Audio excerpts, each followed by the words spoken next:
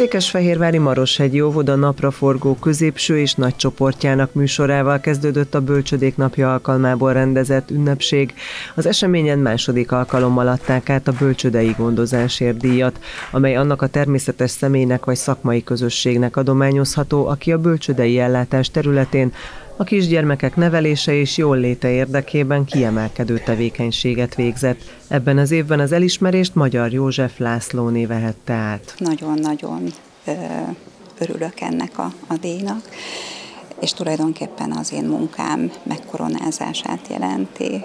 Nagyon jó szakmai elődeim voltak, akiktől tanulhattam, és ez egy hihetetlen nagy minősítés most.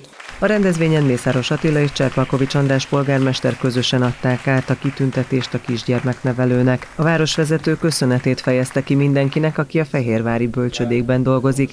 Mint mondta, fontos érezniük, hogy a közösség elismeri a munkájukat nem csak az ünnepnapokon, hanem hétköznapokon is. A héten a közgyűlés több bölcsöde felújításával kapcsolatban dönt az IBRI program keretében is beruházásokról és az elmúlt időszakban pedig egy elég eh, nagy arányú béremelést tudtunk megvalósítani mindenkinek, aki a pedagógus életpálya törvény alá eh, tartozik, de minden bölcsődei dolgozó esetében a kafetériát tudtuk növelni, és a eh, pénteki közgyűlés azoknak a béremelésével kapcsolatban is plusz juttatásokról tud majd dönteni, akik nem tartoznak szakmailag a pedagógus életpálya modell alá. Cserpalkovics András hozzátette, a város mindent megtesz azért, hogy az intézmények jól működjenek és fejlődjenek, éppen ezért az önkormányzat a jövőben is igyekszik folyamatosan bővíteni a bölcsődei hálózatot. Idén folytatódik az IBUL program is, a napraforgó, a százszor szép, a tündérkert, bölcsik és a Ligetsori, a Sziget utcai, a Szárazréti, valamint a Gyöngyvirágovikban indulnak majd felújítások, összesen 143 millió forint értékben.